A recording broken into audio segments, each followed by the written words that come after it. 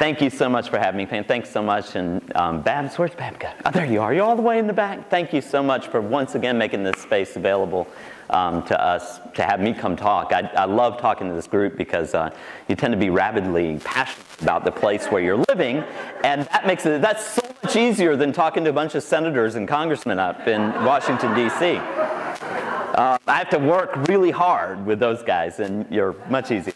Um, so I'm, I'm here really to encourage you to uh, leave this talk and go out and enjoy the things that are around us. And um, what I want to talk to you about today um, is the area that we are sitting in right here with uh, Walnut Creek Preserve, the area that you probably are living in now, which is the Southern Blue Ridge Escarpment ecoregion. And I, I, I always, I coined the term and everybody's stolen it and I love it. That's why I do what I do, steal everything I say and everything I do and go out and make something out of it um, bigger than I ever could, okay? And everybody started using this term that I started to use when we were having the Nature Conservancy was first having um, this uh, uh, meetings that we were trying to get a, a, concept together and trying to get a, a, a, push ahead to really open our Southern Blue Ridge office up and um, to, to really put a focus on the importance of the Southern Blue Ridge Escarpment. I said, my God, it's a crucible of life. And that, that's a crucible of life in so many ways. And so today, I'm going to try to get you to, um, to, to just open your eyes up to what's around you and realize that um, you're part of it, for starters. And even though we go out and we read the landscape, the landscape is reading us at the same time. And we're really a part, like a living, breathing part of what's going on. And you're living and breathing in one of the most important areas for biodiversity in the United States. Okay, so it's a pretty place too, that doesn't hurt. We're going to be talking about natural communities today, and I, my definition that I use in my class for a natural community, it's an interactive assemblage of organisms, their physical environment, and the natural processes that affect them, okay? I just broke that down stealing from other people too, like Mike Schafale. Mike is an interesting guy, and you guys know Mike? Uh-huh. Well, I can do a Mike Schafale impression if you promise not to show it to him on... what is it? a distinct and reoccurring assemblage of populations of plants, animals, bacteria, and fungi. Uh, I think it's a lot easier just to say we have an interactive living and breathing system around us, that everything's connected and is connected to the physical properties of the environment, is connected to the climate that is a part of the physical property of the environment that we live in, which is completely unique as we're going to see, and they're connected one another in this intricate web um, that is just, to me, beautiful. So that's what we'll be talking about. So let's think a little bit about that. To understand why the southern blue ridge escarpment is so important, we need to understand why plants grow where they grow.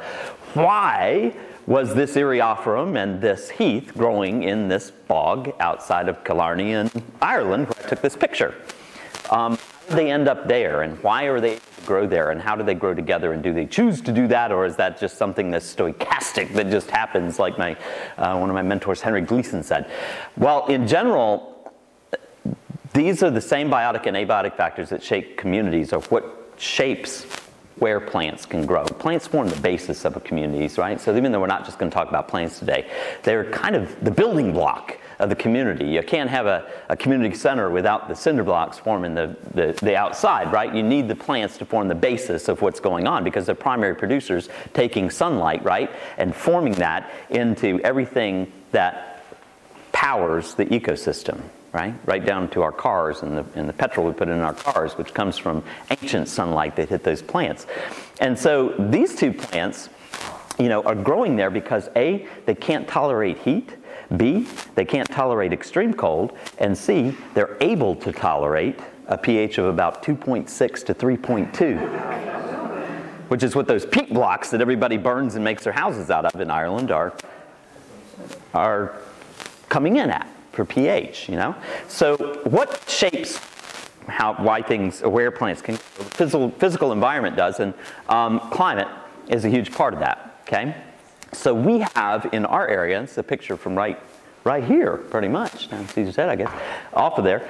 Um, and it's, um, it, it sort of shows you a lot when you think about what happens, people travel from all over the world to see this spectacle of color that happens with our trees, you know, because it gets cold here in the wintertime. We think that's why trees change color. Do you know why trees, trees actually became deciduous? Do you know where they became deciduous? Does anybody in here know? Excuse me?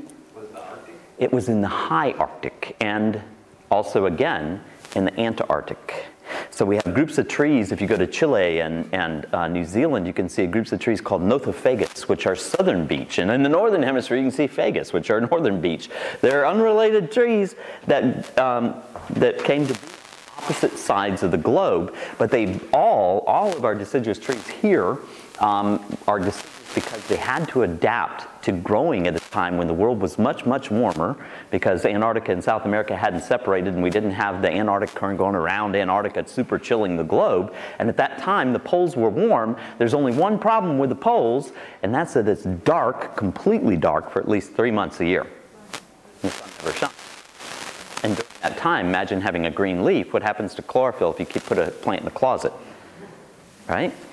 So having a green leaf is a real liability, so start shedding it to be able to, to survive on 24 hours of sunlight for three other months of the year, right? Take advantage of all that sun, all that productivity, and grow. And it just so happened that the, the vagaries of our climate over time allowed those trees to have an advantage, a competitive advantage here, where we have shifts in seasons that also give them an advantage during the low light cold times of the year when there's a lot more water stress on leaves because in, in the winter when it's cold and it's dry and winds blowing around and there's less humidity in the air, it's also very difficult to hold leaves, right? So climate. So we have a really unique climate. Now North America is the most volatile of all climates. I love it when people don't care about climate change. A, let's settle something right now. Stupid argument. If you say there's no such thing as climate change, you're a moron okay? Because we know climate's changed in the past. We know New York City was under two kilometers of ice 18,000 years ago. That's not a guess, okay? We know that climate has changed during our recorded history, from the little ice age during the 1700s till now, right? So don't say there's no such a thing as climate, okay? If you don't think carbon dioxide is responsible for climate change, great. You know, there's the laws of physics you have to deal with, with that, but whatever. You know, you can, you can think it's not, not uh, uh, greenhouse gases, that's fine. But don't ever say there's not such climate change because that's absolutely false. Okay? All right, so climate change in the past influences things that we see um, today, and North America is, is more susceptible to climate change than any other continent in the world because we're shaped like a funnel and we have the most volatile, what we call continental climate of any of the continents. We're shaped like a funnel so that in the wintertime, and in the summertime really, but in the wintertime, air can pop right down into the center of the climate and shift.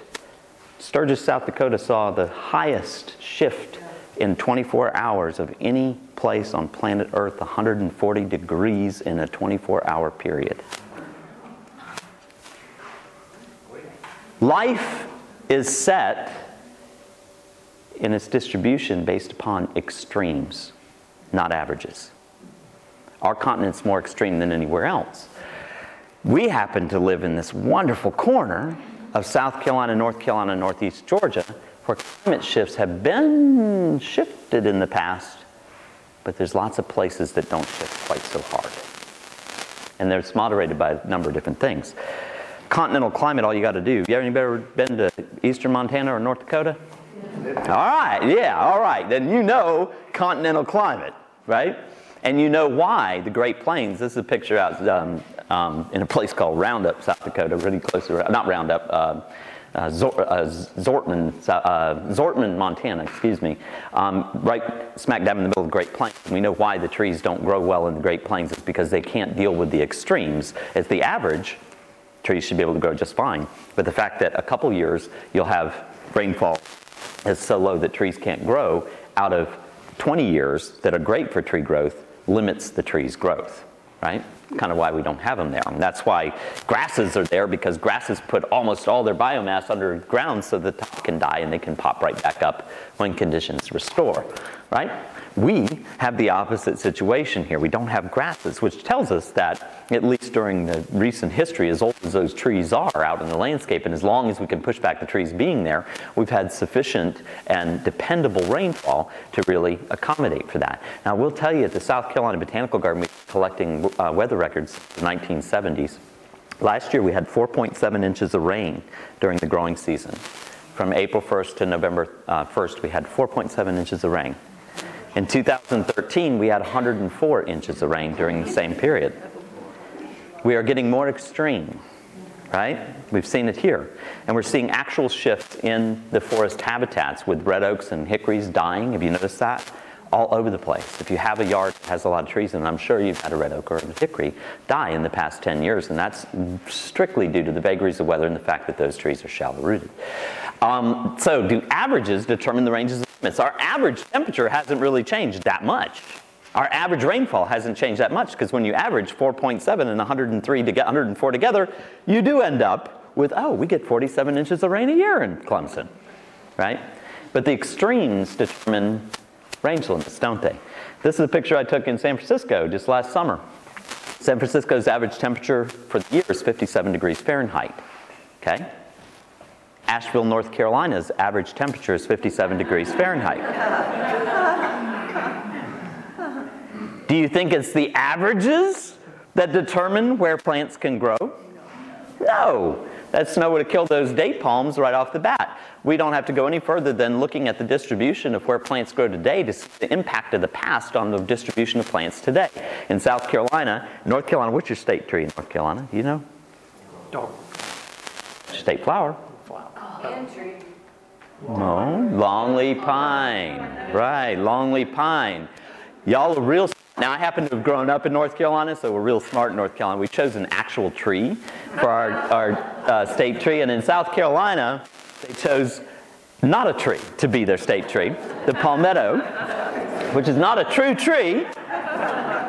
Hey, I'm South Carolinian today for a long time. We, uh, we're not last, we're 49th in education, so we're. What is it? We, we have a saying, thank God for Alabama, right? So, um, no, but it is a wonderful symbol for us because it's a symbol of uh, resistance. It was it, it, it um, reinforced like, uh, Fort Moultrie during the American Revolution. It's how it ended up on on our flag and it's one of our symbols, our state tree. It's tree-ish, so I guess it counts. But look at the distribution. It only grows naturally from Brunswick County, uh, North Carolina, right along the outer fringe of the coast, down into Florida and over into Alabama. Over into uh, Alabama. Now, have you seen them growing in Columbia, South Carolina? Have you seen them growing in Clemson, South Carolina? Yeah, they grow just fine in Columbia. They grow just fine in Columbia. Why don't they grow there naturally? Because in the past, it's been too cold for them to grow there.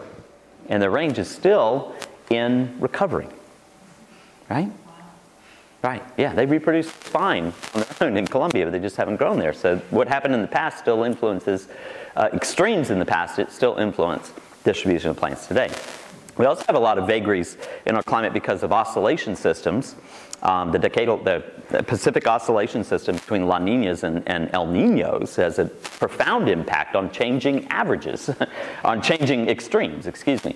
So when we have La Nina years, we have an, a huge influx of water in, of, of, water vapor that comes in off the Atlantic during those times because two low pressure systems set up when El Ninos are present, or La Ninas are present in the Pacific, and that brings lots and lots of rain to us. Um, in El Nino years, which we had one back in 2015, um, 15 through 16, uh, the strongest ever recorded. Um, I took a trip to the Galapagos Islands during that time, and all of the, the animals were all starving to death because there was no upwelling of, of um, nutrients in the current. So when I did my ETV trip, we were able to really talk about that, but it was pretty pathetic to see these skeletons of marine iguanas on beaches I'd seen, you know, healthy ones on before. Um, so that has impacts everywhere. And during El Nino years, we get an influx from the Gulf because a persistent low pressure system sets up over the North Great, northern Great Plains. And in 2015, my son was working on the American Prairie Reserve in Montana. And there was so much rain that year that where cactus grow, there was four inches of water on the ground all year, and you nearly got exsanguinated by mosquitoes just walking across the prairie. Okay? So these things bring real extremes too. And chance is uh, nearly just as important as anything else when we're talking about where plants are found. It's, it's the extremes of climate, but it's also chance. This is a little fern that in North America is only known from one place in the Jocassee Gorges in Eastatoe Gorge down just below the mountain here in Pickens County, South Carolina, where were discovered in 1937 by Totten um, and um, Coker. And it, uh, it grew there for years and years and years. And the closest place that it grows to Pickens County, South Carolina is Jamaica. It's a tropical fern, but it's called Tunbridge fern. Do anybody ever been to Tunbridge Wells, southwestern England? It's another little weird place that has a kind of a moderated climate, and this fern managed to make its way there. Now, how did it make its way? England, Jamaica, all throughout the neotropics, all throughout the African tropics. Why is it in those places, and how did it get back and forth and all around? Winds, not ships, but winds. Because ferns don't have big, heavy seeds. What do they reproduce with? Spores. And the spores can get in upper air currents, and particularly spores that are generated in West Africa sometimes catch air currents that ride across the subtropic ridge and up into North America and get dropped with what kind of weather systems? Hurricanes, right. Right. So ferns can pretty much are shedding their spores all over the globe all the time, and they just have to find by chance that right little rock that produces just the right conditions. Rock and soil, we call edaphic in, in ecology are really important. You know, nutrients, the chemistry, that's so important in what we what we see and what plants can grow in. And we'll see that when we talk specifically about our area. And then slope and aspect. Slope is how steep something is, because the steeper it is, the quicker it right? But also aspect. Aspect is which way you're facing. So I love this. This is a place I always take. I take this picture every time I go out to this place. It's in Big Sur, California. And um, on this slope is facing south, and this slope is facing due north. The north-facing slope is protected from the heat of the persistent sun during the daytime, and the south-facing slope is just blasted with sunlight all during the day. So on this side, we have yuccas and desert grasses, and on this side, we have redwoods right? Just based on where it goes. And of course, something else that determines climate greatly is the oceans. So see, here's the same slope facing south, desert, this slope, redwood, and then over here, because it's facing the Pacific and it's bathed in mist because the oceans bring us the evaporated water that falls as condensation or rain, right? So the proximity to the ocean is also something. The ocean temperature is also something. If you ever get a chance to go to that place, go to it. It's like fairy tale. It's called Julia Pfeiffer Burns State Park. It's in um, Big Sur, California. Great. So let's bring it home and talk about the Southern Blue Ridge Escarpment in context. I want you to know where it is, okay? So it runs basically from up here, Hickory Nut Gorge area, um, southeast of Asheville, all the way down into Rabun County and Habersham County, Georgia, um, encompassing this whole area where you move from Piedmont to mountain, okay? So it's a narrow area we're talking about. It's not everywhere. Okay? It's not the Great Smoky Mountains, um, which is my number one nemesis when I talk about this because everybody thinks the Smokies are so great and they drive through our area to get to the Smokies and they don't realize they're missing the best stuff on their way over. Right? So that's the area we're talking about. This area has, is blessed because the mountains, and you'll notice this here, the Blue Ridge Mountains run all the way from the tip of the Gaspé Peninsula up in Quebec all the way down to this part of North Carolina, right here, where we sit right today. See, this is Saluda right there, okay? So right where we sit today. They're running north northeast to south southwest. And they come down here and they do something really weird. They hook. They go, and suddenly you have an east west running ridge across there. So we have two main sources of water vapor coming from the ocean. This red's supposed to represent the Gulf Stream, warm water off there. Warm water carries a lot of moisture inland, and when it cools as it goes up over the mountains, it falls. So if we have onshore currents blowing off the Atlantic, guess what happens in La Nina years? Torrential rainfall, right? During the wintertime, this, is the um, uh, the uh, jet stream comes down, and a lot of times you'll see it dip like that. If you ever want to know if we're really going to have a big snowstorm, all you got to look for is the hook in the jet stream. You've seen that? When it hooks over the, the Gulf, there's lots of moisture. When it's coming like this, Alberta Clipper down from here and pulling those polar vortexes down, you see all that snow coming. They're like, it's going to snow, it's going to snow. When is the weatherman going to learn that all the snow evaporates off of the, by the time it crests over the Great Smoky Mountains and it doesn't know nothing over here? You know, every time they call for snow, I mean, I've known this from when I was a kid. If the, if the, if the jet stream is coming straight down like that, it is not going to snow much here. You may get a flake or two, but it's going to snow like crazy in Gatlinburg, and over here it's not because all the snow is falling on that side of the mountain. We do have a leeward side, okay? But in the wintertime, uh, frequently our temperate jet stream is coming right over the Gulf and bringing up that moisture, and that moisture wouldn't fall torrentially on a mountain range that's running like this, but it picks up all of it in a mountain range that's running east-west, north-south. So we take it all when that jet stream pops over the Gulf like that and it dumps here. And that happens a lot, at least historically. So our area has more rainfall. Yeah, when we look out into that, that incredible space that it, people call the blue wall, my friend Tommy Wyche called it the blue wall, and I call it um, the Blue Highway because it's, it's more of gorges that go up into the mountains that bring diversity in and out than anything else. The highest rainfall in eastern North America is found recorded at Bad Creek Station, which is right here on the North Carolina South Carolina line near Whitewater um, Falls. It's the highest rainfall recorded in eastern North America on average, right? Because of those very things we just talked about. Now, what does water do when you have lots of water? It does a couple things. One, it makes lots of water, right? So it allows you to have water available most years, but it does something else too.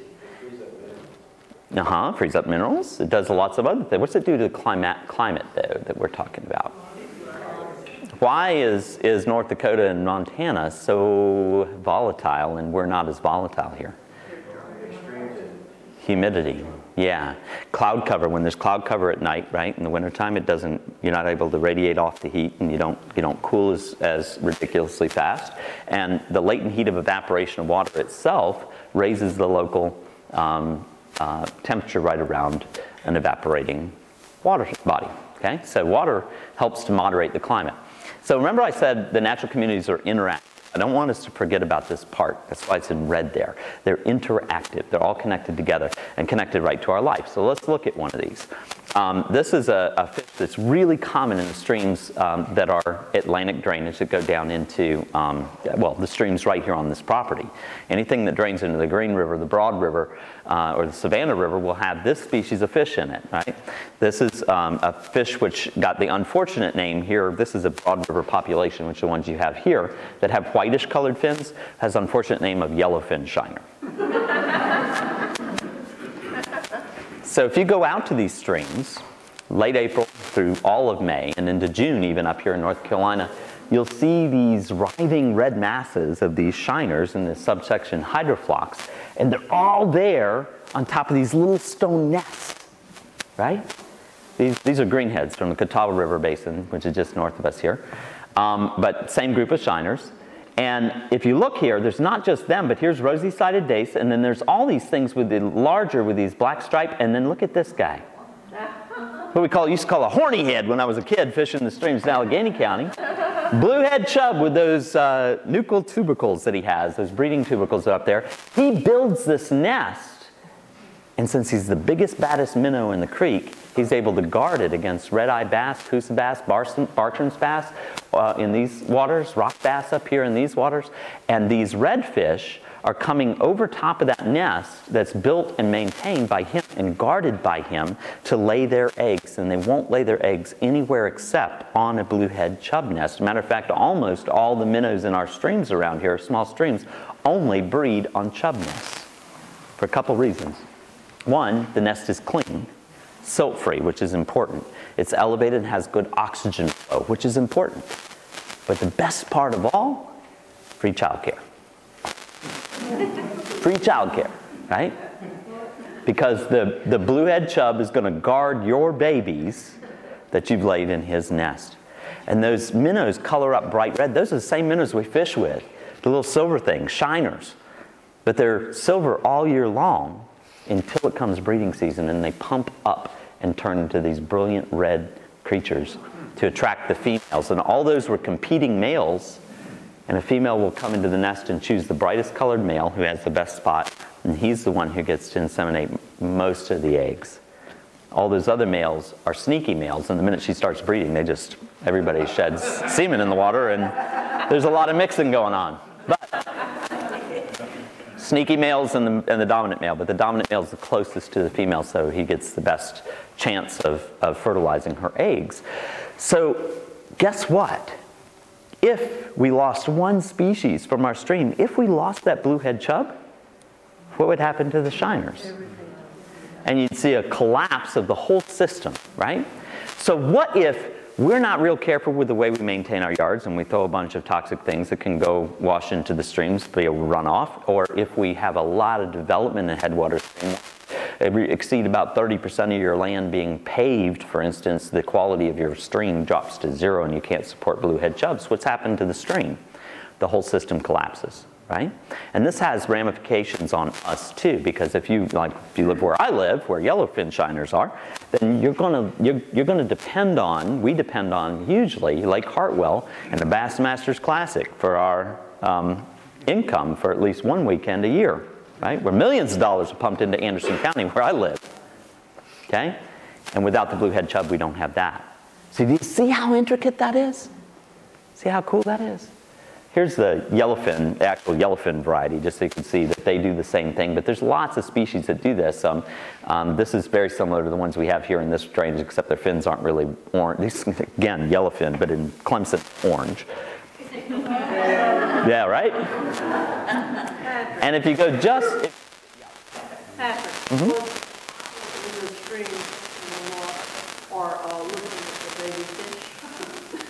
Oh, the model. The model was Jeff Smith. He was, uh, he's a, was an aquarist up at the North Carolina State Museum in Raleigh. He took my position. I used to be the aquarist there, and he, he took my position there. This is just uh, a couple, this is where I, what the streams look like there. It's every stream. It's not about one stream. All the streams in the Blue Ridge have these fish. In this case, that's red lip shiners and mountain red-bellied dace that are breeding over a central stone roller nest. Isn't that beautiful? Really pretty thing. All right, so interactive.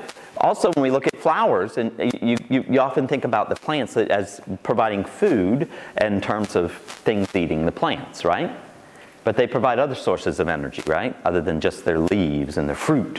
What is this plant producing that is going to be used by somebody? Pollen, yeah. Pollen, nectar from these plants um, to feed pollinators, right? Now, a lot of people are shocked to hear me say, I don't care what happens to honeybees. They can go extinct. It doesn't bother me at all. Don't care.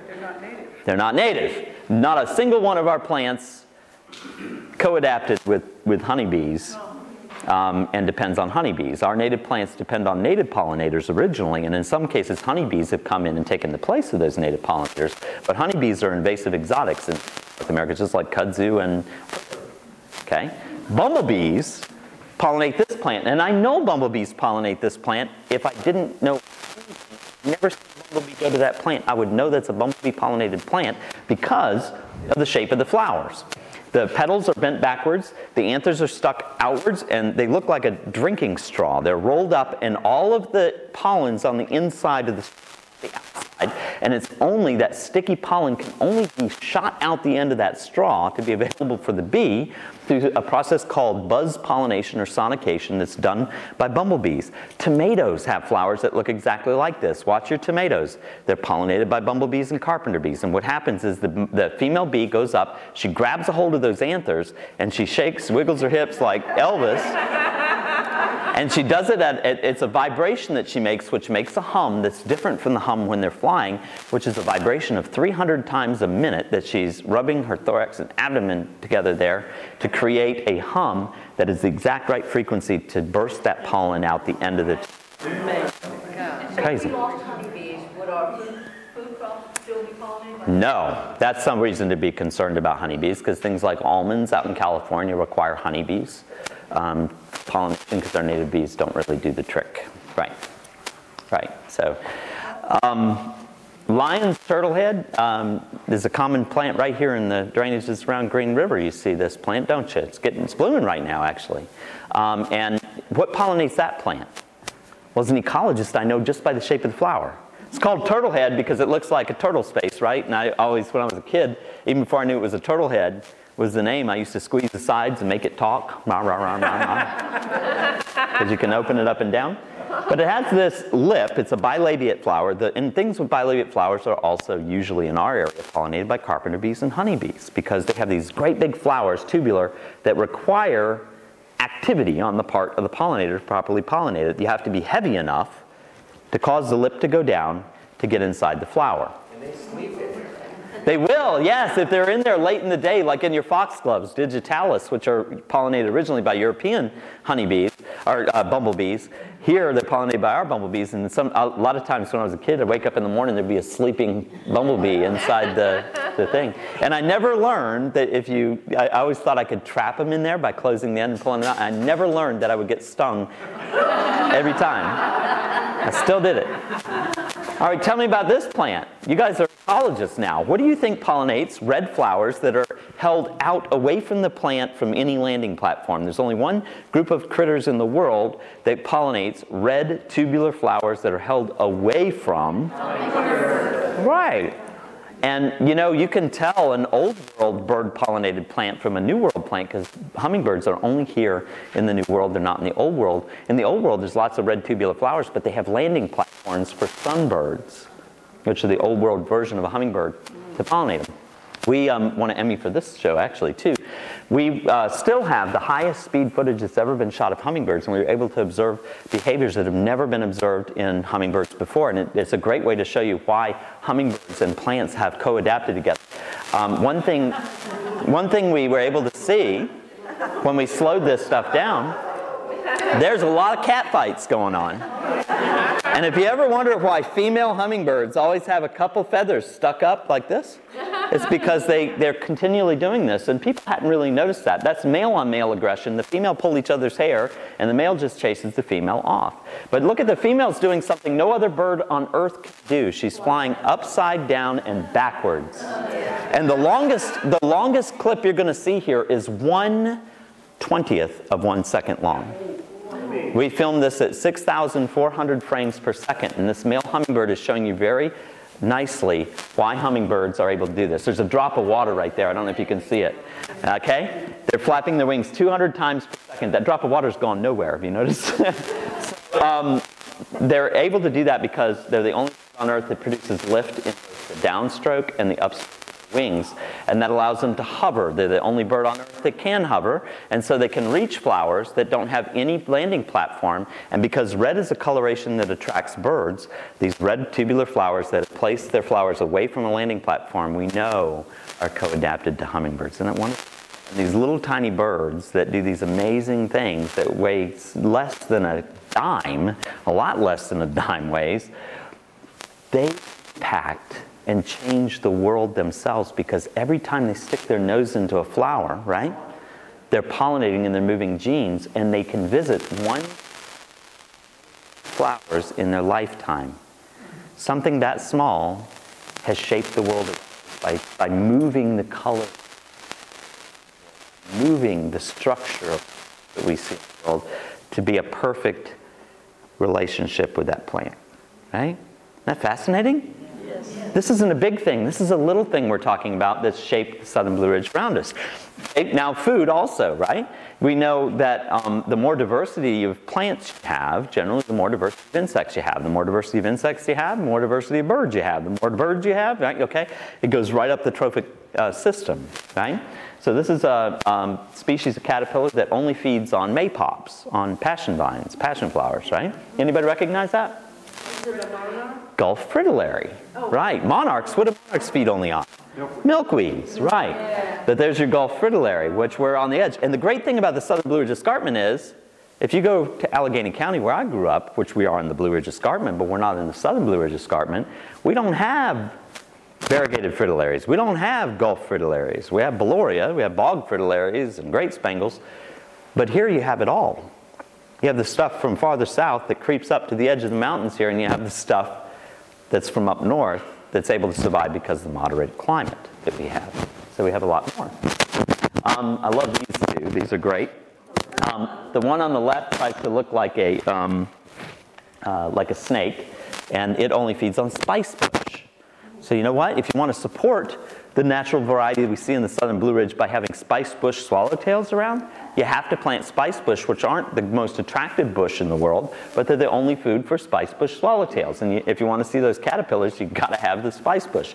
This one over here is pipevine swallowtail, another plant you probably wouldn't plant in your landscape because it's kind of not that attractive. Grows like kudzu and has a flower that is not very built large It looks like a little Dutchman's pipe. This one protects itself by looking like a snake. This one has osmeteria. It has these, well, all, all swallowtails do, but it has these big giant orange osmeteria that sticks out and it secretes this horrible smelling toxic um, gas that smells like a big, like somebody let a big one go. Um, and it scares things that might get it. There's another strategy that some swallowtails apply, and this is taken in the southern Blue Ridge Escarpment, but only because we have a lot of hop tree in the area um, where this was taken. This only feeds on, on plants in the citrus family, hop tree and prickly ashes um, being uh, some of them. Um, and this one was taken on a prickly ash tree that um, Sam and Eva Pratt gave me right over here. So um, this one, this one's defensive strategy is a giant swallowtail. The defensive strategies look like bird poop. Because you don't want to eat a snake, you don't want to eat something stinky, and you sure don't want to eat bird poop, right? Yeah, but it turns into that giant, the largest of all of our swallowtails. Variety of host plants, specialty nurseries. Um, one of the best places to get, um, if you're looking for local genotype host plants for our um, butterflies, is at the spring and fall plant sales at the South Carolina Botanical Garden but also the South Carolina Native Plant Society, the uh, UNC Charlotte Botanical Garden, the Asheville over Nashville to North Carolina Arboretum, a great place to support your local um, garden. We try to do the right thing, all of us, at least that I just listed, are trying to do the right thing by providing plants like that, okay? So, pretty cool when we look at how that diversity uh, conflagrates, but then also history can't be ignored and our history can't be ignored in what's going on. We've already talked about that with climatic history, but a lot of times we tend to think that the extent of our influence on the southern Blue Ridge Escarpment, or in South Carolina, as, uh, as this picture uh, sort of illustrates, we tend to think it as the beginning of our influence on our ecosystem as being the foundation of Charleston on, in South Carolina, which, you know, Charleston was founded and then on the seventh day God rested. It's kind of what we say. Um, because everybody thinks that that's when the world started in South Carolina. But um, the, uh, we, we generally tend to think about um, the European influence as being the time when um, we really started to modify our habitat. And we know that to be false, of course, today. We can remember certain habitats and explain the distribution only as far back as our history takes us, right? So this is a picture from East Texas of longleaf pine um, and these giant longleaf pine with grassy understories. We know that they existed all across as the dominant um, ground cover over the uplands of the southeastern coastal plain from Texas to Virginia. Um, and we know why they were there because we have good pictures that allow us to see that.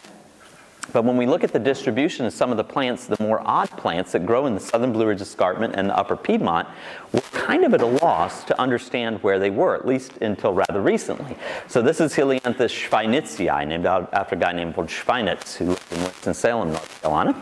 And um, it's a, a, a member of what we call the Piedmont prairie ecosystem. Right? A prairie ecosystem that we used to, we thought, well, maybe there were prairies because the distribution of this plant around Charlotte, we still have prairie-like uh, habitats around Charlotte, so there must have been a prairie. And we have old maps that show a grand savanna around Charlotte, Rock Hill, and up in towards um, Iredell County, North Carolina, that, that show us this great prairie. But if you go back farther, you find out that this great prairie extended from the Gulf coastal plain all the way into New England.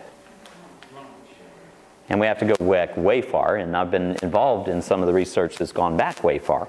Um, my wife would tell you, my man is Mark Cates.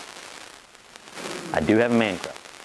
He's been dead for 270 some years, so it's all right. She's not too jealous. But most people know Mark Catesby because of his beautiful watercolors, which are on display right now at the Gibbs Museum in Charleston. If you don't go see it, you're going to miss something. Those things are housed in Windsor Castle, and not everybody has like me, can just go to Windsor Castle. I just go to Windsor Castle because I've studied these things. But you, you know, you need to go see them while they're at the Gibbs Museum. It's amazing. And he wrote this book, The Natural History of Carolina, Florida, and the Bahama Islands, and it tells us a lot about how the world has changed since 1722 to 1724 when he came here. And show you a couple birds here. This one's a Baltimore Oriole. Loves to live in backyards. We got lots of them up at my old home in Alleghany County, North Carolina, breeding there. In the winter, they come to the, to the coastal plain of Carolina. Meadowlark, but, um, the, the uh, Oriole's a savanna bird, likes backyards. The eastern meadowlark likes places people have really screwed up, um, cow pastures, uh, agricultural land, um, what we call early successional habitats, clear cuts, those kind of things. Um, this is an ovenbird, has a beautiful voice if we had sound here, and scarlet tanager. Both of those require old growth forests. The ovenbird, 280 acres of old growth forest to produce one successful nest of young, 80 plus year old trees, uninterrupted by one road. If one road goes through that 280 acres, they won't successfully breed. The tanager around 100 to 120 consecutive, uh, uh, conti uh, continuous acres of older growth forest to successfully produce one nest of young. So, which one of these groups do you think has changed the most since Catesby's time? Which one of these groups is doing the worst? Which one's doing the best? How many of you guys think it's the backyard birds because we don't have any backyards? Okay, how many of you guys think that the uh, clear-cut Cow pasture birds are the ones. Bailey does, Bad does, okay, a couple of you do. How many guys say Gold Growth Forest? Everybody who listens to anybody in the southern Appalachians talk about great our forest are it's old growth forest birds, right? It's not. It's the birds that occupy the landscape that humans have the strongest hand in that are doing the worst. Our grassland birds are doing worse, not just here in the southeastern United States, but everywhere around the world as an ecological guild, grassland birds are in decline. Species like the eastern meadowlark, that was the most common bird sound I heard when I was a kid, um, pretty much disappeared from Alleghany County, North Carolina um, in that 40 some, I won't tell you how many year um, span of time. Okay? And the reason that happened is because we went from having a county that was almost entirely dairy farms and, and tobacco to a county that was almost entirely Christmas trees to a county that was almost entirely retirees. Right? Not really. We're really lucky up in Alleghany County. We did find out though that retirees are the best crop to grow. They definitely are the most profitable crop to grow. But um, not really, but we did. Um, and now it's kind of amazing because like I, we, we have a, about 100 126 acres in Alleghany County that was formerly in Christmas trees. We finally got the Christmas trees off of it and we've got cattle back on it. And now, guess what showed back up? Meadowlarks. So changes in our, in our lifestyles over the years have really impacted those birds. Now, uh, why are these birds in such decline? The meadowlark's in, uh, declined over 90%, about 90%, over 50% of its range in the last 50 years. Why are they in such decline? How many of you guys grow all your own meat? No? All your own vegetables? Okay. Yeah, a couple of you. Good, good. But if I asked that, that question 100 years ago, everybody's hands have gone up, right? It's our lifestyle change. And not just our lifestyle, but people's lifestyles before us. Now, Mark Catesby visited the Carolinas when 1722 1724, and at that time, the English settlements only extended inward, inland, uh, 60 miles from the coast, and beyond that was what you used to put on, see on maps, here be monsters, right? These were lands that were controlled by the Creek and the Cherokee Indians up here in this part of the world. And so when Catesby came up here, and the reason he's my man crush is he twice walked to the southern Blue Ridge Southern Blue Ridge Escarpment in 1723 and then 1724, okay, from Charleston walked with Indian guides up the Savannah River, um, across the Savannah River in Georgia, back across in North Augusta, and then right up Highway 28 into Clemson. Really cool. And he tells us a lot about what, um, what this part of the world is about if you bother to read his appendix in the, in the uh, natural history, which I'd highly recommend you read if you want to find out about this area. When we talk about what is natural, well, we look at what he, what he saw here. He saw things like cowbirds. Cowbirds we thought weren't native here. We thought they invaded from the west in the 1950s, and we hate them because they lay their eggs in the nests of other birds, and the song sparrows and the, and the Bachman's warblers and everything, they, they just would spit out the, the uh, eggs of those birds and replace them with cowbirds. But Catesby only visited South Carolina and Virginia and Georgia. He didn't go out west, but he drew a cowbird. And he talked about the cowpen bird. Those birds developed that lifestyle because they follow around buffalo, okay? Now, of course, there were no buffalo here, right? But there were. Not the eastern buffalo, it's the plains buffalo. Uh, they lived in the eastern United States, but a lot of people are under the misconception that's a woodland bison. It's not. Those were just Alaska and Canada. And our bison here were relatively recent push into our area from the Great Plains, probably following the demise of the Native American populations around 1500 from smallpox that, that um, lowered the population and allowed a recovery of bison populations, not just in the west, but allowed them to push all the way to the Atlantic coast and down into central Florida. So Mark Catesby drew a bison based upon bison he was eating that his Native American guides were seeing and, and, killing for him in the heat of the day when they sought refuge in the cane brakes. And in the cool parts of the day, they were out in the vast savannas because they didn't have the word for prairie yet. But he tells us it's treeless because he says his Indian guides had to hunt him during the heat of the day because if you shot a buffalo and it got mad, it would kill you if there were no trees to hide behind. And there were no trees in the uplands around Clemson where he was describing to hide behind there was only these giant bamboo thickets along the streams that, that ran up into the great valleys of our southern Blue Ridge Escarpment, like Eastatoe and Jocassee, that provided a place where they could shoot them and hide in the bamboo to keep from getting killed. Now, is that the southern Blue Ridge Escarpment you're understanding? It's different. It's different. And our ridges here were different too. If you want to read that, it's, it's an interesting thing. But this was more likely the habitat rather than forest in the Clemson area. And also on low slopes at the bases of our, our mountains and these big vast valleys that occur in the Appalachians also we know were populated with bison and elk. And the, the grassy balds were probably populated by bison and elk. So a lot of the grass that we've lost. Now what, what did we do? Um, we tend to think of our forefathers coming in and clearing all the land in the, in the South Carolina, edge of the South Carolina Blue Ridge Escarpment uh, of trees and planting cotton, but it turns out they cleared the land, they took advantage of the four feet of uh, topsoil that was present in the area, the dark, deep, dark, rich black soil that was there, which is what we all have in our backyards today, right? and they planted cotton, and they planted rice, and they planted corn, and they planted wheat, and they did nothing to protect the soil. We washed away the four feet of soil. We lost the, the cotton. And here at the edge of the Southern Blue Ridge Escarpment, I managed 17,500 acres that in 1931 looked like that. Badlands, because all the soil had been washed away. And whether the boll weevil had come or not, cotton was finished because the soil resource had not been conserved. And we threw away about 18,000 years worth of cotton. We abandoned the land. We moved into mill towns and started working in mills. And um, we reforested, what we called reforested land. What we didn't realize is we weren't reforesting, we were foresting. We were terrascaping. We were, we were like Dr. Spock, right? changing the landscape to be forest. Probably hadn't been forest for 18,000 years in those areas, okay? Now I'm talking about a very small proportion of this area, but a lot of what's at the base of the mountains as you come up into North Carolina from South Carolina. Okay? And today we see this and we think of it as natural, but is it really natural?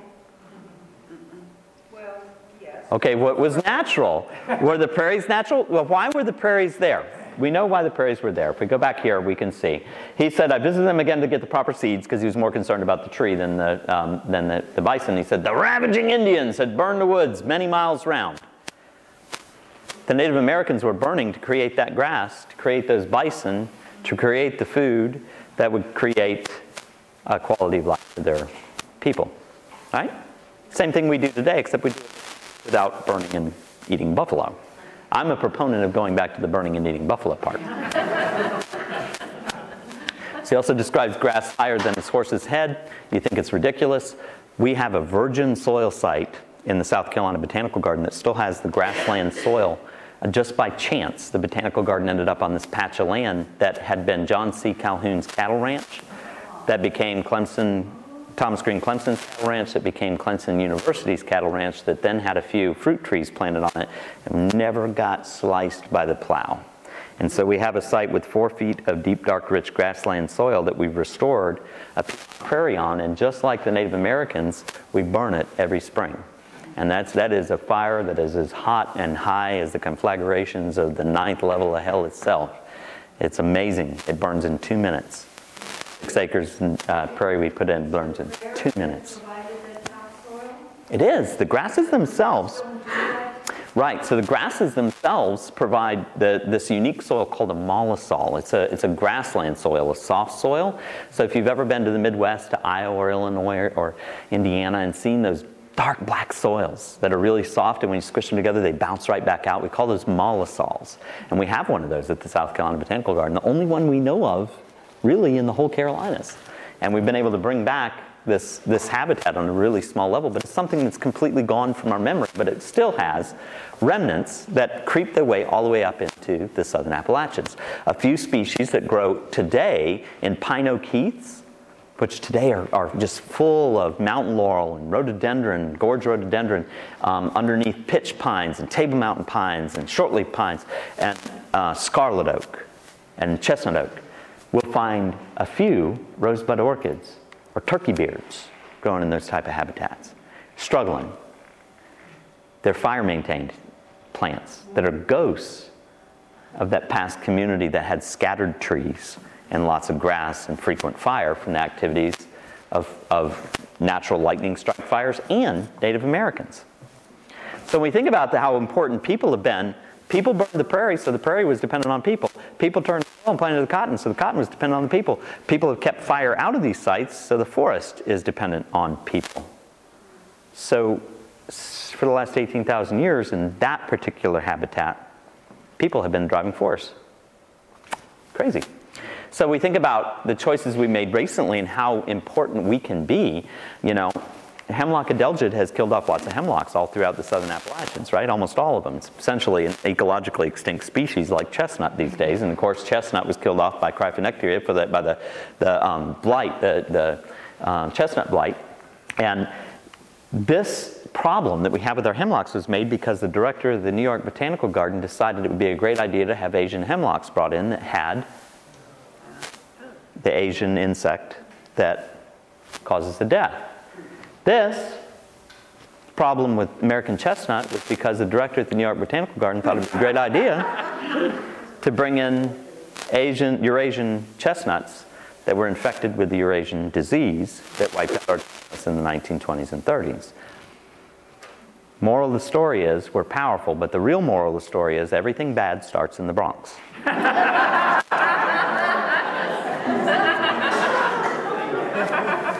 Being a botanical garden director has a huge weight on your shoulder because so many of the diseases that have really transformed this continent, they really have come in through your and my actions of what we want to plant in our backyard.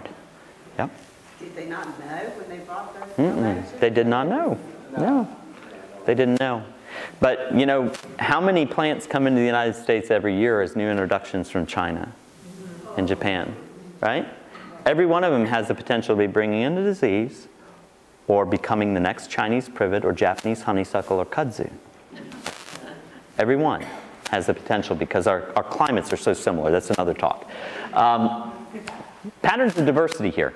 I'm really lucky. I get to go everywhere and I get paid for it. It's really awesome.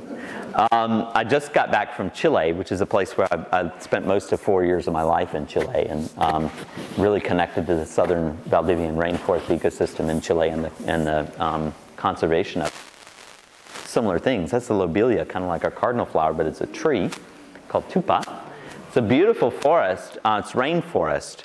And I did a lot of work there. I did a tour for the president of Chile and the governor of the region and a senator. And the governor, Patricio Vallespin, is a good friend of mine still. And, and Michelle Bachelet is now the president again of Chile. Um, and when I got done doing the tour, President Chile comes up to me and she says, we have two properties that are new that we really need to get surveyed. We want you to do the survey. Okay? You know how many plants I knew in Chile at the time? Two. Dandelion and cudweed. All I had done is a tour about the families of plants I was seeing. I had no idea this was a koi coicopihue. I had no idea what it was at the time.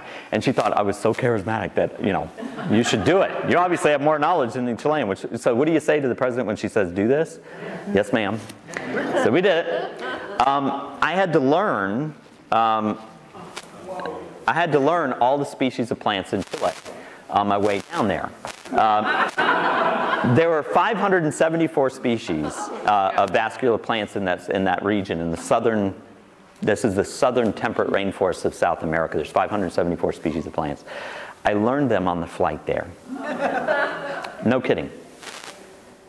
It sounds like a huge feat, a huge number. I had to learn 572. Remember, I already knew dandelion and cudweed. but um, it wasn't tough for me. And this is the point. That number sounds huge to me, but I live in a place that has way more diversity than that in a way smaller area. Don't forget the diversity we have right here in our own backyard. We have 1,392 species in Pickens County, South Carolina. 1,392 in Pickens County, South Carolina. Yeah, probably. In Buncombe County, next county north from here, over 2,000 species of plants. So we have four times the diversity in a single county, almost four times the diversity in a single county than in the entire region, the entire ecosystem in southern South America. And when I was a kid, all I could do was dream of getting away from Alleghany County to somewhere like that. Alleghany County has over 1,600 species of plants. Isn't that something? So we know, we see the diversity, and we notice a lot of it, right? Some of it we don't notice so much, right? Those are all here. Those are all pictures taken in the southern Blue Ridge Escarpment, right? Gentianopsis crinita, known from one location in the southern Blue Ridge Escarpment. It's a gentian, fringed gentian. It has a very unusual affinity to what we call ultramafic soils. So really high magnesium soils um, are where it grows. So only in a few spots, and I won't tell you where I took that picture because you'll dig it up. I learned my lesson on that a long time ago. Um, we have an incredible array of, of wildflowers, and, and, when you look at it, you see some of it. Um, I like this shot because you see the foam flowers and you see the trillium discolor. But what you're missing in this shot are the 72 other species that are growing in this picture. Right? yeah. So it's, there's a lot of diversity there. Like I said, 1,392 species is just in my own home county of Pickens County. So there's apparent diversity and there's hidden diversity. Yes, ma'am. When you were in Chile, did you uh, discover any species previously unknown to you? Yeah. I was working in such a remote area that it was a two-day raft trip to get in, and I was working in such a remote area that um, when you got there, the birds had never seen human beings in this valley, and so they would just land on your head and pick your hair out of your head to use in their nest, and they'd land on my pad as I was trying to write. And the, even the, um, the cougars had no fear of people, and they would walk right in front of you. Um, it was kind of like you know, Eden. It was just amazing because it, it was so remote that literally since the, the um, Patagon Indians had been pushed out of the area, people hadn't been there. It's difficult. It's not easy to get to. It's like rock climbing, rafting. I mean, it was crazy, uh, unless you had a helicopter, which we did. Um, so when we look around us, there's evident diversity and then there's hidden diversity. So the, the diversity is way better and way bigger than what you see with your eyes, and you have to like spend a uh, absorbing yourself in it to really understand what it is. This is um, calycanthus, right? We all know sweet shrub. We see it uh, blooming every spring here. It forms these really odd um, sacs of, of um, seeds in the wintertime. It's not a true capsule, but it's kind of like a capsule. It's like a paper bag full of seeds. If you don't get out there first thing in the fall, you're not going to collect the seeds because there'll be little teeth marks in the edge of the seed and they'll be stolen. And they're stolen by a mouse called a golden mouse. It's a golden mouse's favorite food. And this golden mouse is probably a species you've never seen unless you watch Expeditions with Patrick McMillan on Wednesday nights at 7.30 on SCETV. But the golden mouse um, has really long fingers because he lives his whole life in the trees, in the bushes. He's arboreal. And he has a prehensile tail like a spider monkey that they can swing on to get out there and gather those seeds. And look at that rich golden color. Even the scientific name, Ochrotomys, means golden mouse in Latin. Isn't that beautiful? Gorgeous creature, yeah.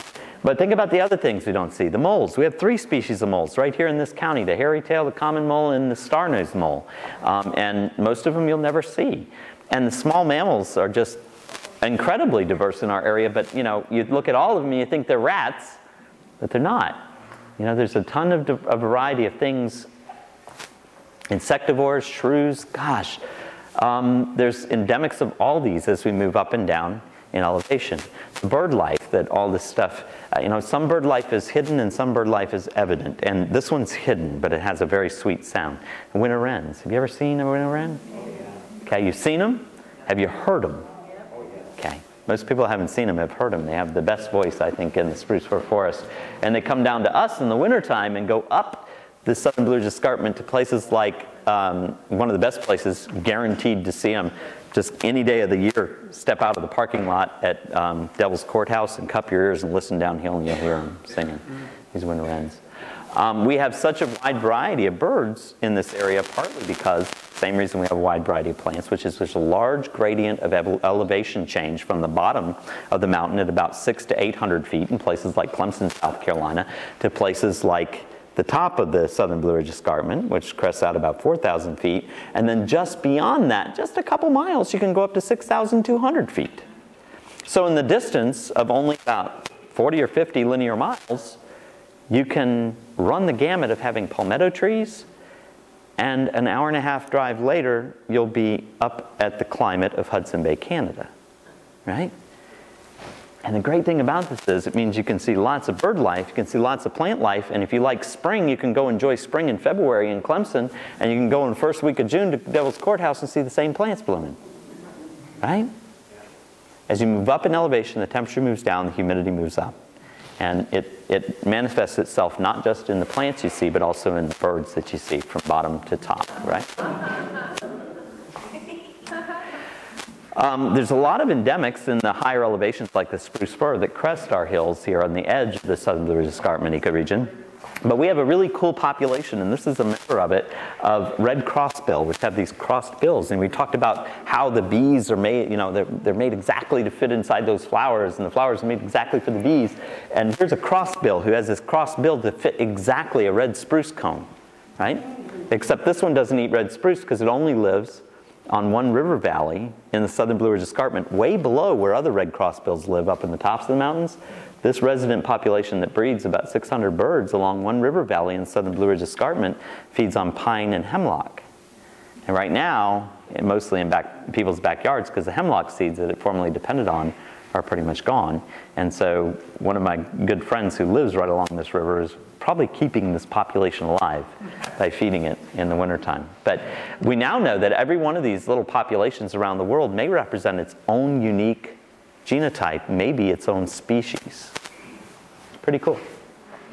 Right? So everything, you know, squirrels, bears, blah, blah, blah. The other great thing about our habitat here is that it's almost contiguously preserved from Rabun County, Georgia in the National Forest to the National Forest of Oconee County to the, the Blue Wall Preserve in Greenville County and the Jocassee Gorges in Pickens County to um, the Green River Preserve to, to um, all of the land that's protected via easements from groups like this one.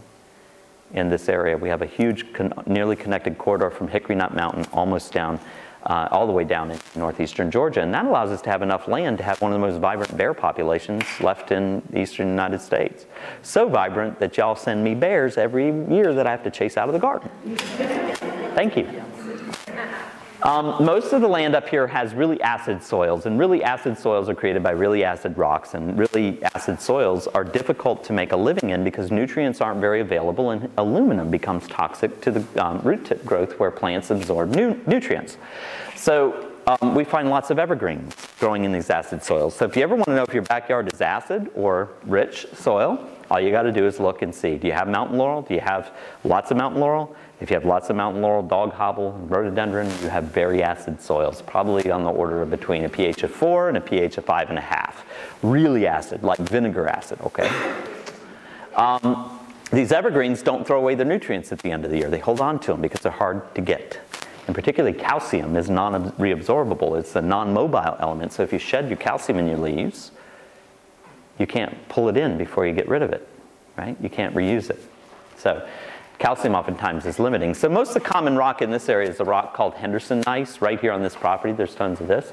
Um, and then there's also granite. In South Carolina, it's table rock granite, but there's a couple other formations up here in this, in this area. Both of those rocks are the most common rocks in our area, and they weather to produce really acid soils because the minerals in the soil come from the rock that breaks down to form the soil, right? Um, there's lots of orchids. It's not that these areas are boring. They're very cool, but they're very common. And so there's lots of orchids there because orchids don't rely on soil pH to get their nutrients. They parasitize fungus to get their nutrients. Orchids are evil. right? I, in South Carolina, there's this myth that uh, the lady slipper is endangered, and it's really very, very common. It's just don't transplant it because you can't get it to live. Because it parasitizes the fungus, the plant will survive transplant, the fungus will not. Right? And it depends on the fungus to survive. So even though this is the most common habitat in the area, we do have rare species that have been generated in these common habitats because even the common habitats here um, are unique because of the rainfall and other things, okay? So um, there is a place though, when I was a kid growing up in Alleghany County, all of our woodlands where I grew up were Acid Cove Forest and, and Pine Oak Heath, okay? And when I moved to South Carolina, I saw in the Escarpment mostly Acid Cove Forest and Pine Oak Heath, and I thought that was the most boring place I could ever be because I was so used to it growing up. And I took a trip to a place called Eastatoe Valley, a magical mountain called Wadakoe Mountain one day, about two years after I got, it was the first year I got here, with a guy named Wes Kula. And he invited me up there and he said, I really, we really want to get our upstate forever involved and we want to preserve this beautiful valley in the base of this mountain. I said, great. I said, can you come up? I was like, I was looking for any excuse possible because I wanted to in the low country. I had no interest in working in the Blue Ridge. And he said, and I said, okay. I went up took us on this walk up this little creek behind his house. And it had rhododendron, mountain laurel, dog hobble, a few dying hemlock trees, white pine, scarlet oak. We got done with the, the event with a bunch of other people, and I was supposed to be telling them about how great the plants were, and I was like, this is scarlet oak. Um, we got done with it. Everybody went home, and I said thank you to Wes, and he said, you, I'll show you something behind my house here on the other creek. And I was like, I really got to get back to Clemson. Like, I got stuff to do tomorrow. And then he said, he finally said, please let me show you. He says, there's something wrong with it. Okay.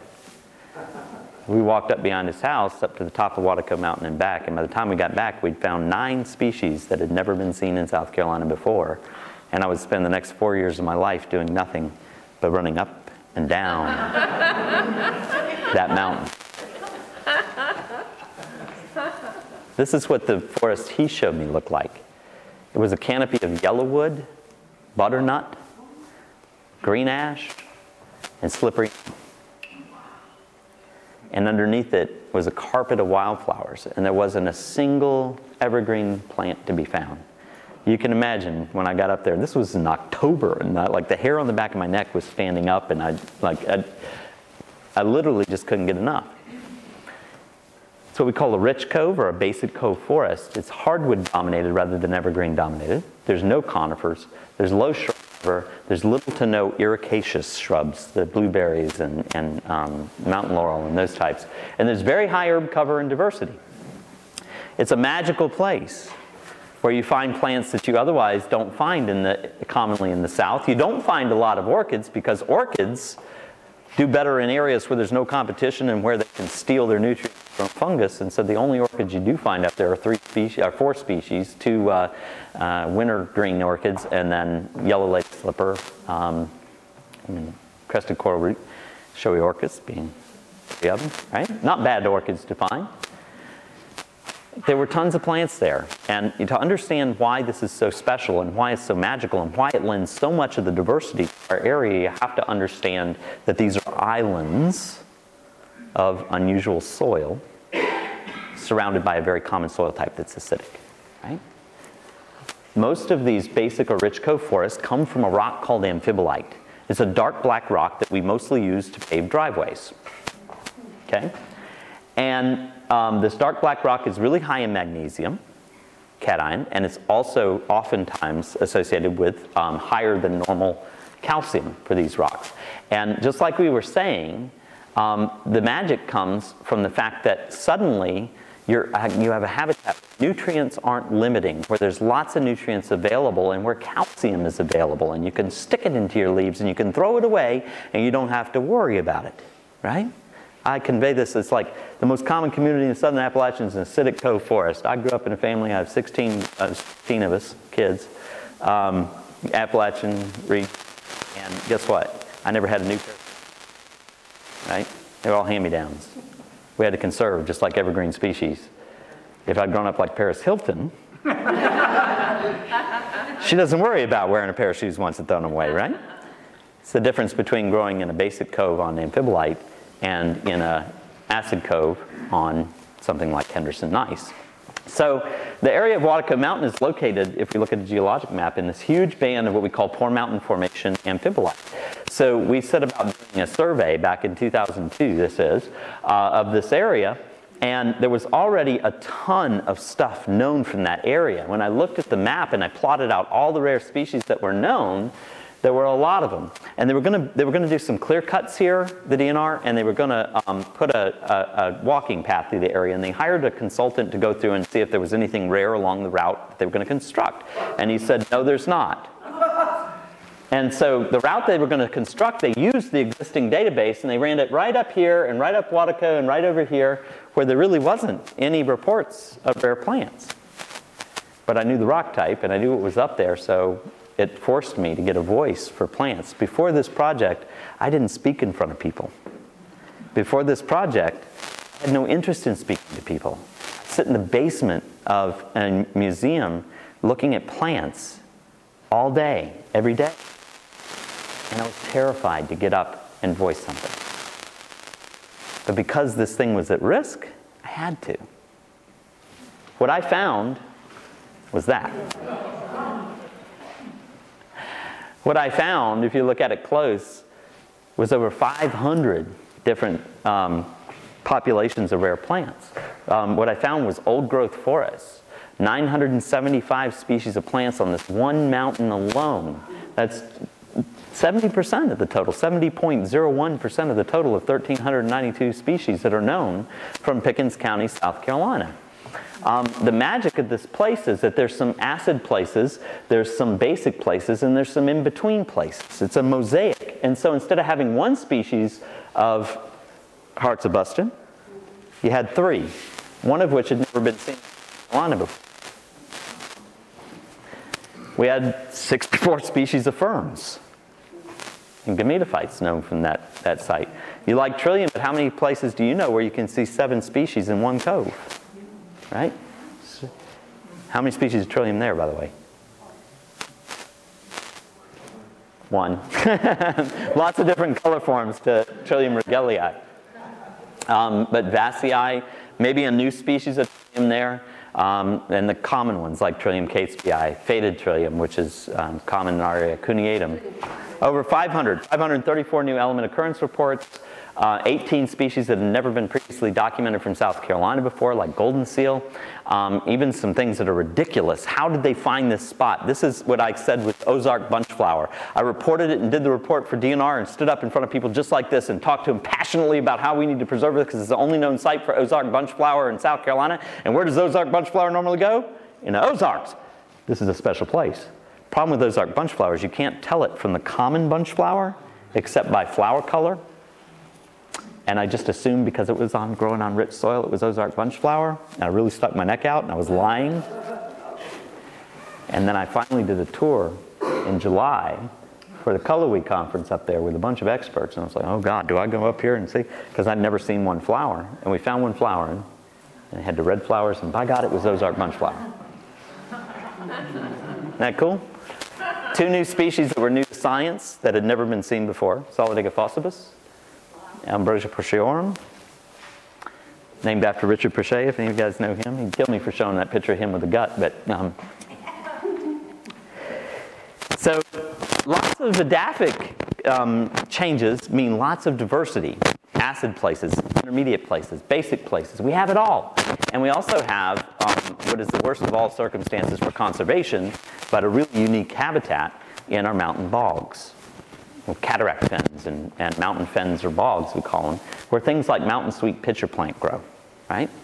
These are habitats just like, um, just like our, our um, Piedmont prairies are mostly disappearing because of land use changes, because we no longer graze mountain bogs up where I'm from, and because uh, climate change, regaining of the Rocky Mountain instead of the all kinds of things have been going on to hammer these habitats, and they're mostly cool things that grow there need sunlight and soggy, uh, waterlogged soil to grow. And if we don't manage them, they grow up into trees. So we lose things like the bog turtle, right? Which is found in this area. Um, in my area, cranberries. American bog asphodel is a species uh, that today grows in New Jersey, used to be known from South Carolina, but there was another species that went extinct before we knew it was a species. It was only found in Henderson County, North Carolina, called, um, John Small called it Abama montana, and its new name is Narthecium montanum, and it's only known from herbarium specimens because the great bogs at Flat Rock had been converted and drained and altered before the time we realized that it was a new species.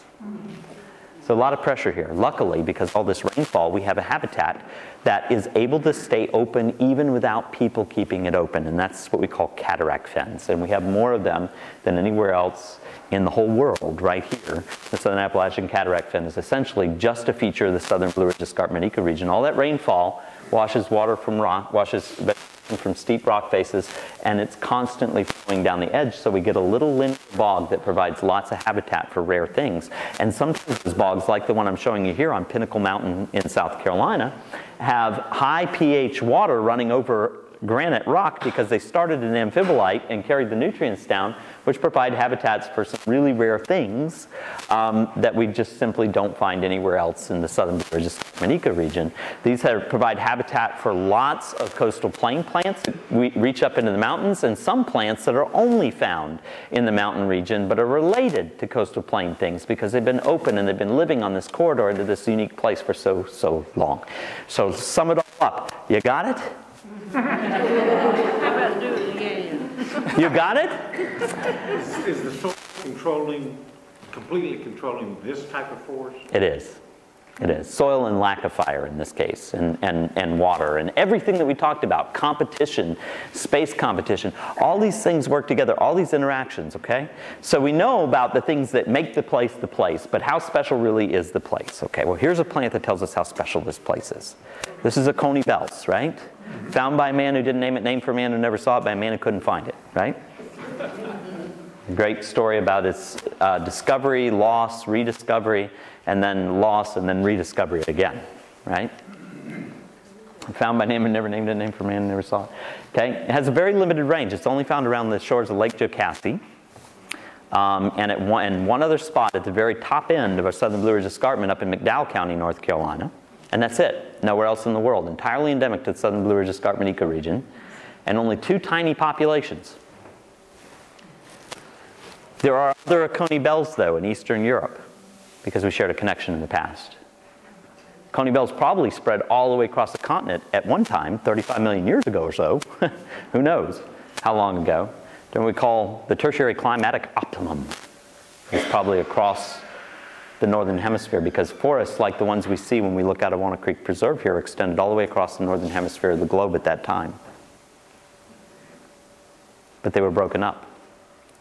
And all throughout the rest of North America, Oconee bells went extinct. It maintained itself in Eastern Asia, and it maintained itself right around Lake Jocassee here in uh, Tom's Creek. Six of them were destroyed when they flooded Jocassee, yeah.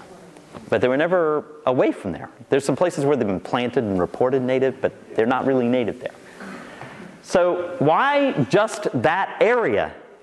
Well, there's lots of diversity here, but it's not just the things that are here, the numbers of the things that are here, it's the things that are here that are diverse. More diversity of salamanders per square inch than anywhere else. North America is right here. Great Smoky Mountain says they got it. I say we got it. One of theirs is a lie. All mine are true. the same number reported, but they've never seen a green salamander that they can verify in the Great Smoky Mountains. So I say we got it. Um, why do we have so many salamanders? Salamanders, we have the highest diversity anywhere. Trillium, we have the highest diversity per square inch. Right? Um, seven species in one code, but look at the diversity of trillium. Some species that still have yet to be described.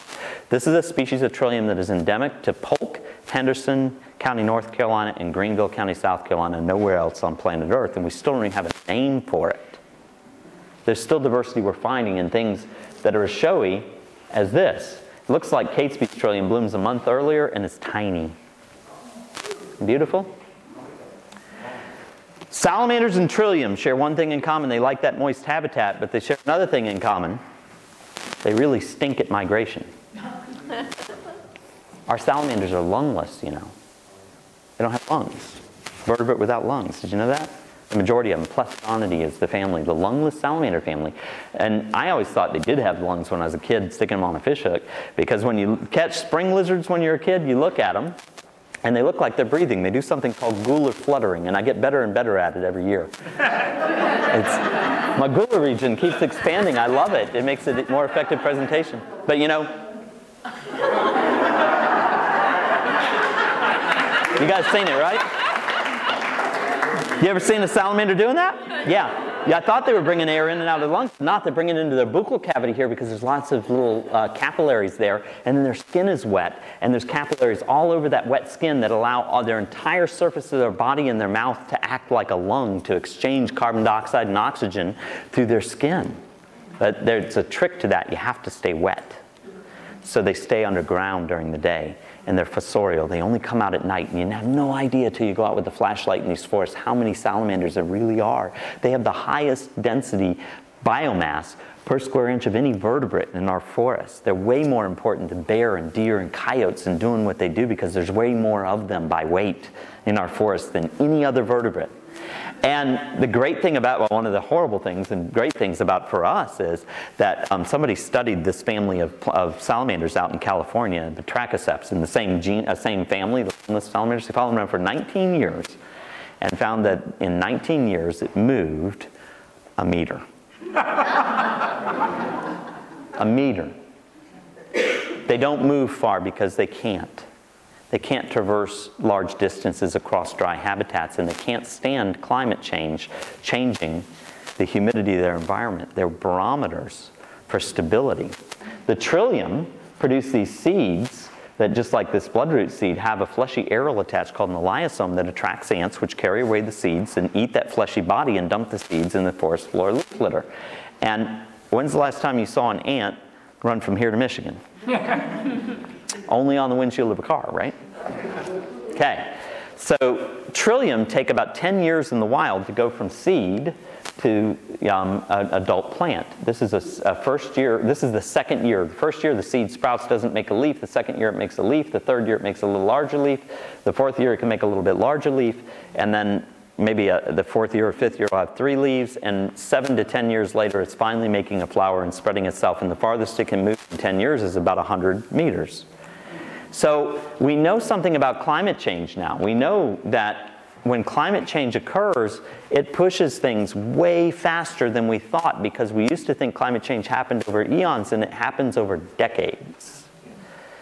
And if you're moving 100 meters every decade, you can't move and south fast enough to accommodate for the climate change. But if you're moving from Clemson, South Carolina, up to the top of of um, Devil's Courthouse, you only have to move about 60 miles, not from here to Hudson Bay. Right? And there's so much rise and, and drop so quickly there that it makes it a magical place for maintaining diversity. You can move up and down to accommodate the climate instead of north and south. Not only that, but because our mountains run north-south mostly until they get to here, they've escaped the fate of Europe. You know, wonder why there's so few things in Europe? It's not because people have totally screwed it up, and it's part of it, but it's the fact Alps run east-west entirely, right? So when the glaciers came down, they met glaciers coming down the slopes of the mountains, and all the diversity in northern Europe was squished in between, right? Here, when the glaciers came down to about here, um, they would all, everything was able to escape without running into an east-west barrier. It's important. But our gorges themselves, the very blue highways I talk about bisecting this blue wall are probably more important than anywhere else because there's rise and fall from here all the way to the Adirondacks. But the Adirondacks don't generate the diversity that we have here of these things that have had to escape climate change in the past. And we're sure that the climate changed here so how do they survive, even moving up and down? They survive by going into the one thing we have more of than anywhere else in the Southern Blue Ridge. We've got gorges. Got these magical places like along Eastatoe Narrows where you can walk from the top of the hill in the wintertime, it'll be 16 degrees, get to the bottom, it's 32. You walk in the summertime, it's 94 up on that ridge, you walk to the bottom, it's 74. The sun never hits the bottom of the, of the uh, gorge, and the wind never blows because it's protected. And that water buffers the habitat too, right? Microclimates that have provided a habitat for tropical ferns like the one we talked about to grow underneath plants from Canada. Right? The same spot. It's made this place a refuge for life through times of change. So, to sum it up, lots of different geology and soils, lots of altitudinal change, cool climate with lots of rainfall, steep slopes, aspects, and microclimates just talked about and past climate change. The current landscape pattern is no more than 5,000 years old. And the one thing we always forget the human touch. Right? They've all worked together to produce this place. It's unbelievable. And just think about the fact that maybe the reason that there's sugar maples today in Vermont is because they sought refuge during the last ice age in the gorges of Polk County. All through the Pleistocene, our mountains have breathed in and exhaled diversity. And every time they do, things are changing and they're adapting. You're breeding diversity that stays and leaves and comes home again. Right? Fascinating. Think about how those genes move. We've done a great job preserving this part. We've done a really lousy job of preserving everything to get into it. This is where places like the Conservancy can come play a role that'll support life into the future. We are in the middle of climate change, period. No matter where it's coming from, we are in the middle of climate change. We plant palmettos, not rhododendrons now at the South Carolina Botanical Garden. I have 694 species of plants from West Texas growing in the South Carolina Botanical Garden, just fine. 20 years ago, we couldn't have done that. Our temperatures raise more than 10 degrees on average in the winter and summer. Our rainfall's gotten way more unpredictable. We're in the middle of climate change. If plants and animals can't get into and out of this wonderful place that you hold a piece of in your hands, if we don't preserve those routes, if we don't preserve this place, that beautiful inhale and exhale diversity that's kept this continent alive in the past, be broken. So you have a part to play in that. Don't be the cigarette in the mouth. It has to go through backyards. A place like South Carolina, only 11% of our state is in public ownership. Right? The Savannah River Corridor and the Broad River Corridor are your two lifelines into and out of the Southern Blue Ridge Escarpment. Those are so important. They're not just preserved here, they're preserved there, and the in-between spaces and the private spaces that we manage, John, are managed in a way that provides an appropriate habitat for things to migrate through. The most important job in this coming climatic event that we're in the middle of, not coming, it's here, it's incipient, it's here, is the role of places like the Conservancy. That's why it's so important. That's why I'm here talking to you today, because I believe in what you're part of. And I want you to be a voice that says, we have to connect, we have to preserve. It's good for everything. It's good for the economic growth. This is a problem with national, from national security to the creativity of our youth, that this place, these things be part of our continued experience. That's my son. that was my son at 12 years old. my son's 27. Um, I want you to think about the last thing, and I know I'm going on and on and on, but I hope you'll take some of it away with you. But there's the last thing that I want to say about this thing being a crucible of life through times of change. Remember that. It's crucible of life we're preserving. It's crucible of all life. It's not just the diversity, it's not just the salamanders, but it's the human touch. It's your spirit. It's your way of communing, of centering, of receiving whatever it is that you get, whoever it is that you worship, whoever it is that you call your home. It grounds you. My son was raised outside. Today, most kids aren't. They go outside when they're in trouble, right? Um, we were poor as could be coming up, so his only avenues for fun was going out with me to places that were free, that were public spaces that he could visit and he could play in and he could learn. And so he was never as happy as he was right there. 27 years old today. He's the world's expert on how bison change um, the ecosystem when they're brought back onto the landscape in the northern Great Plains. He's currently working as a research scientist for the University of Florida now in um, Archbold Biological Station down in central Florida. And he's, I couldn't be prouder. He, um, he and I, poverty when, we were, when he was a kid, struggling for me to get through school, for his mom to get through school, and then collapse of our family and me becoming a single parent. And, you know, even though Nick was 17, almost 18 at the time, that was such a huge thing. You know, it always is. There's nothing worse in the whole world than that. And when my son would get mad and when he would just couldn't handle it anymore, couldn't handle just the situation that was going on, he knew I was frustrated, he knew I was upset. He'd tear away in that big old red truck of his, down the road, and I'd just die of worry. I would just squished. Have you guys experienced that? You worry about your kid? Not knowing what in the world he would do. But after about the second time he did it, I didn't worry. Because my kid would go out, and 30 minutes or an hour later, I'd get a text, picture Twin Falls up in the gorges. And all it would say down there is, Don't worry, Dad, everything will be okay. I don't care if you care about golden mice, trillium, Oconee bells, you better.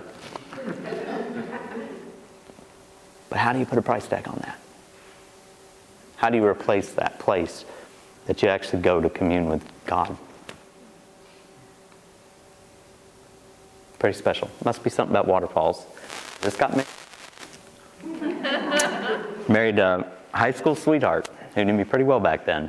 And when I went up for her first date to the mountains, she's from the same place I grew up on, the Blue Ridge Escarpment, but the northern one, not the southern one.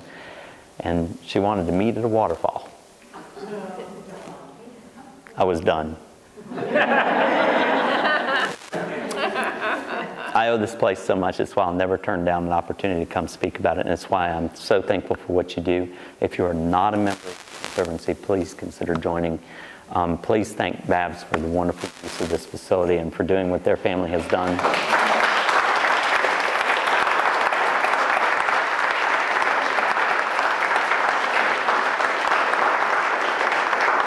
and steal some of what I taught you, uh, you today and use it to empower people to understand this isn't this isn't a right or this isn't a thing that you can judge right or wrong. It's all right, and it's all good for the future of us and the future of our country. Thank you.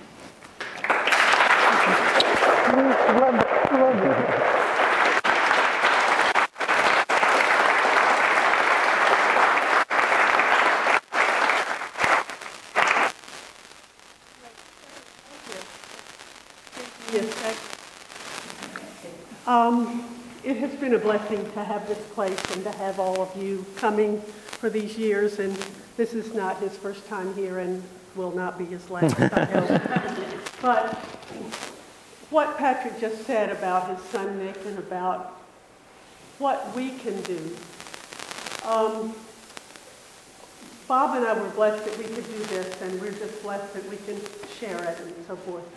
But right now in Polk County, we have a chance, we have an opportunity to honor this man and what he believes in in a way that is a kind of miracle.